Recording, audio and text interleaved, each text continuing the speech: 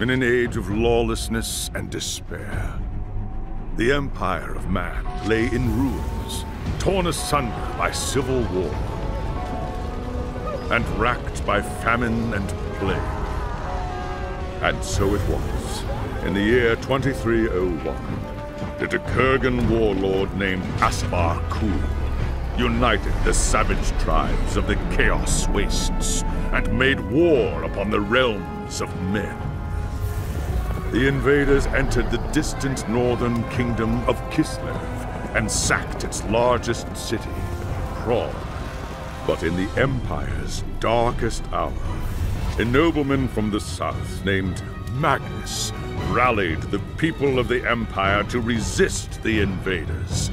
The Imperial Army marched to the rescue of the Kislevite capital, fighting Kul's army in a massive battle outside the city walls.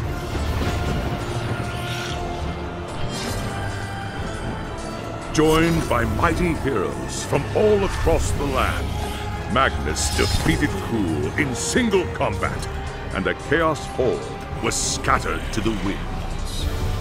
Blessed by the gods, and heralded as the true Emperor, Magnus returned to Nuln in triumph. But even as the old world celebrated Magnus's victory, the Dark Gods were planning their revenge.